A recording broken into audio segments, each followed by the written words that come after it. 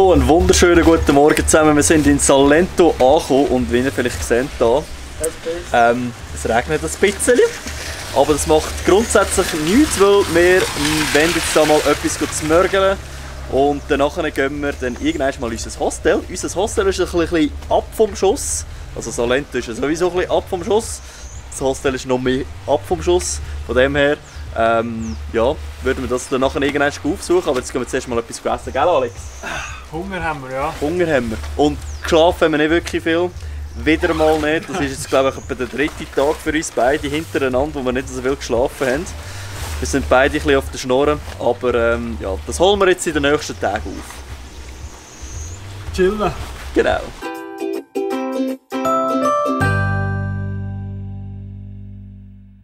So, wir haben einen richtig geilen Shop gefunden und zwar heisst das Brunch und ähm, ja, wir haben jetzt hier einen Früchtepolen bekommen und da irgendwie, was ist da alles drin? Ei. Brot, Ei, äh, Zwiebeln, Käse, Speck, alles mögliche. Champignon, glaube ich auch nicht. Das lassen wir uns jetzt schmecken. Gut, Alexander. Gute. So, wir sind jetzt in unserem Hostel angekommen und äh, müssen mal die Zimmer anschauen. Richtig geil. So ein, ein doppelstöckiges Bett, aber mit irgendwie 1,40er äh, Matratze habe ich noch nie gesehen. Richtig cool. Und die Aussicht, die man von da hat, ist natürlich auch der Oberhammer, wo ja Und Büsi. Da auch. Das ist Salento, das ist die Aussicht von unserem Hostel. Wie gefällt es dir, Alex? Sehr gut, danke. Bist du zufrieden? Tipptopp. Gut. Parat zum Liegen. also. So, weil es geschifft hat wie in Strömen, sind wir jetzt hier noch äh, eins Billard spielen. Darf ich vorstellen, Not, Elend. das Niveau ist nicht wirklich gut, aber es macht Spaß und wir können das Bier trinken. So, einen wunderschönen Abend. Wir sind jetzt wieder zurück im Hostel und ratet mal, was es gibt. Alex, mein lieber Freund, hat mir Käse mitgenommen und Servila. ich verrecke. So gut. Das Einzige, was fehlt, ist Schweizer Brot. Da haben wir da ein bisschen, ähm, müssen, ein bisschen improvisieren. Aber noch schon Servila mit Käse, wunderbar. Hier seht ihr einen Grillstell, aber es hat heute den ganzen Tag geregnet, darum haben wir jetzt leider nicht können grillieren. Das machen wir vielleicht morgen, weil wir haben noch zwei Servila. Und äh, ja, jetzt geniessen wir da noch den Abend, trinken das Bier, essen ein bisschen Servila und Käse und dann geht es morgen auf eine Wanderung. Bis dann, ciao ciao. Guten Morgen Alexander, Guten Morgen, Patrick. wie fühlst du dich? Super geschlafen. 9 Sicher? Stunden durchgepennt. Sehr Hammer. schön, das freut mich. Und schau mal, wir haben es morgen, was gibt's? Kotz mit Ei und Früchte. Sehr gut. Und noch ein Brötchen. Und schau mal die Aussicht, die wir hier haben. Richtig cool. Und jetzt, oder nach dem Morgen, hauen wir es auf unsere Wanderung und wir gehen hier in den Park. Jetzt habe ich schon wieder vergessen, wie der heisst. Jokora oder so irgendetwas, Das ist so ein Nationalpark und dort können wir ein bisschen, äh, eine kleine Wanderung machen. So Alex, gehen wir, hä? Fahren wir mit dem Jeepli da, hinten drauf, wird sicher eine lustige Fahrt. Ja, das angenehm, oder? Tipptopp, geht super.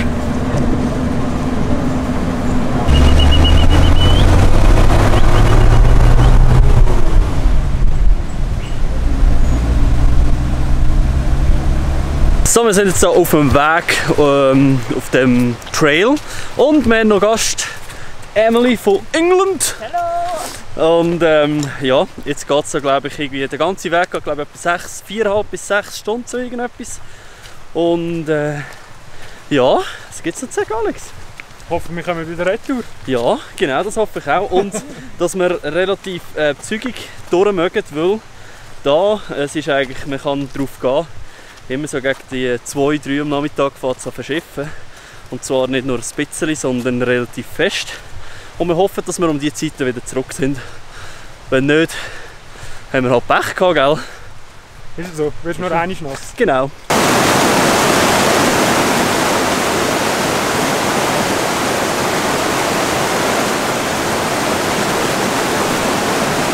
So, wir laufen jetzt so wie durch eine Dschungelart.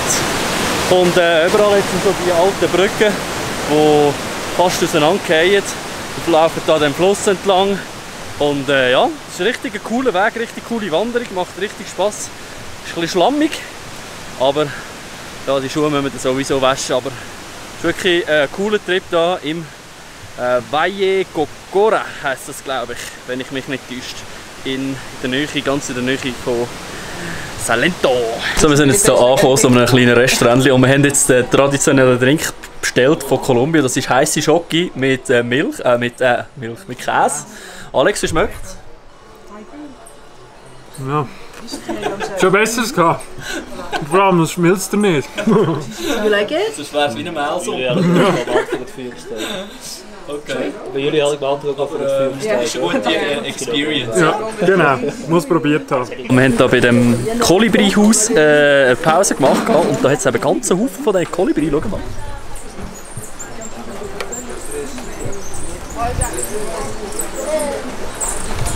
Cool, hä? Schön, sehr schön. So, es hat angefangen regnen, aber ich habe natürlich meinen Schirm dabei und ich bin sehr, sehr froh. Erstens, dann wird meine Kamera nicht nass. Zweitens, ähm, weil mit der Regenjacke haben wir viel zu warm meistens, wenn man äh, so ein bisschen am Wandern ist. Und drittens, ich kann jedem ein Lächeln ins Gesicht zaubern, der entgegenkommt, weil die nicht erwartet, dass einer mit dem Schirm da durchlatscht. ist noch lustig, die Reaktionen anzuschauen von diesen Leuten. Aber ja, warum nicht? Ich sehe vermutlich nicht so aus wie ein Long-Term-Traveler für die. Usses, Gott Maria, du. Aufpassen, Paddy, hä? Ähm, aber spielt ja keine Rolle. Oder? So, das, was ihr hier im Hintergrund seht, das sind äh, ganz bekannte Palm, ähm, Palmen, Palm Trees. Und das sind, glaube ich, die grössten von der Welt. Die können, glaube ich, bis zu 60 Meter hoch werden. Da. Seht ihr, der ist recht hoch.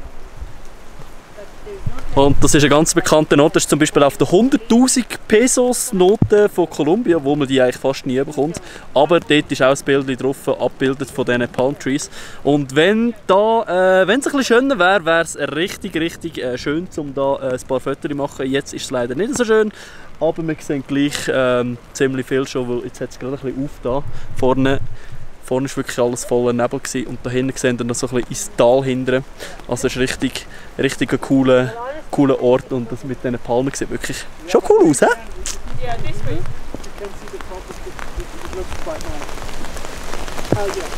Ja, wunderschönen guten Morgen zusammen. Ein neuer Tag ist angebrochen und wir gehen heute auf eine Kaffeefarm. Und wir haben noch ein kleines Problem, und zwar unsere Schuhe sind beide bachnass von gestern.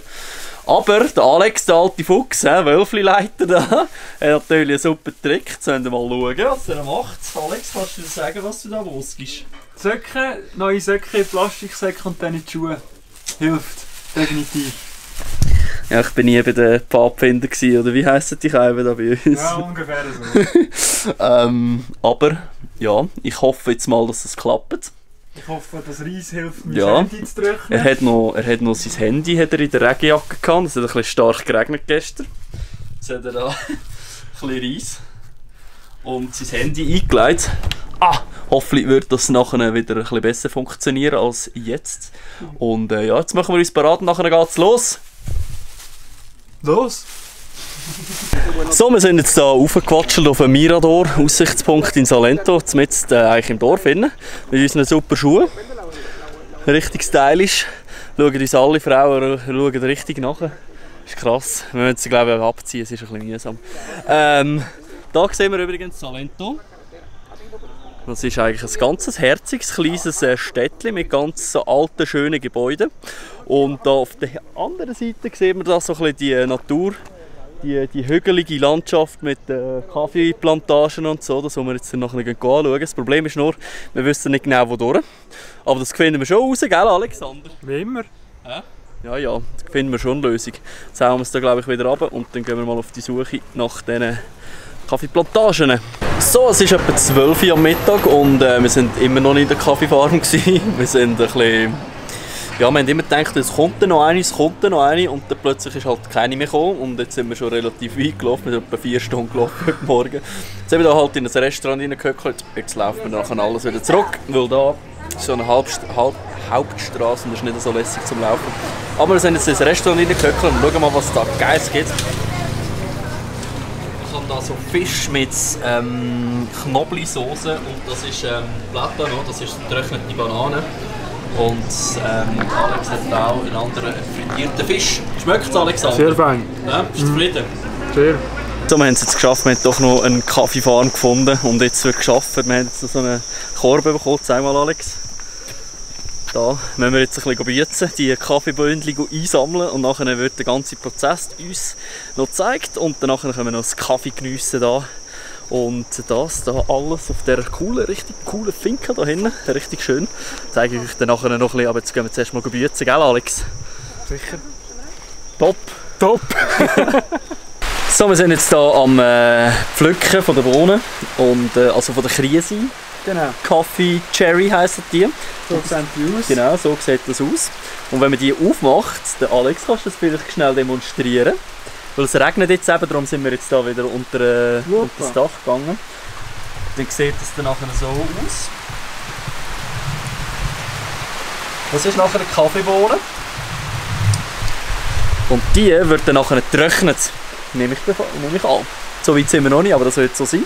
Und äh, so einen Kaffeebaum, da hinten sehen wir die übrigens, so die kleinen, ähm, die haben insgesamt 20 Jahre, die, würden, die, die, die wachsen, dann hauen sie es wieder ab und dann wachsen sie wieder. Also insgesamt nach 20 Jahren ist es dann nachher etwa durch. Und Kolumbien ist der Drittgrößte. drittgrößte Kaffeeproduzent der Welt. Nach Brasilien, und Indonesien. Nein, Vietnam. Vietnam. Brasilien, Vietnam, Kolumbien und dann glaube ich nochmal jemand und die machen 75% von der ganzen Kaffeeproduktion, also von der ganzen Kaffee-Dings äh, auf der Welt aus, also die paar Länder. Spannend, hä, Alexander? Haben wir Sehr. wieder etwas gelernt, hä? Super. Wie findest du das jetzt? Es regnet jetzt ein bisschen fest, aber sonst ist es genial, ja. Top. Ich äh, freue mich auf den Kaffee. Ja, ich mich auch. Inside, and all the of the cherries are going to go through that hole in the wall. And we're going to take it to the compost. And this cylinder is going to be spinning, and all the cherries are overripe, or too green, or too small, they cannot be peeled. They're going to fall in a bag that is not there. Äh, so einen Picker da, wo die, die, die da arbeiten, ähm, kommen oder können bis zu von 80 bis zu 100 jetzt regnet es wieder, Kilo ähm, pro Tag äh, ernten und pro Kilo kommen jetzt 500 Pesos über. Also die können bis zu 50'000 Pesos pro Tag verdienen, äh, was für da eigentlich noch ziemlich viel ist. Und da in den Dings dann nachher würden sie gewaschen, also sie würden zuerst ähm, die Haut wird dann nachher vom Kern entfernt. Und nachher wird es gewaschen und dann nachher wird es getrocknet und da wird es jetzt getrocknet. Warm inside and also to protect them from the rain. But from Colombia, they receive high quality coffee. I'm gonna walk into a Starbucks and be like, guess what?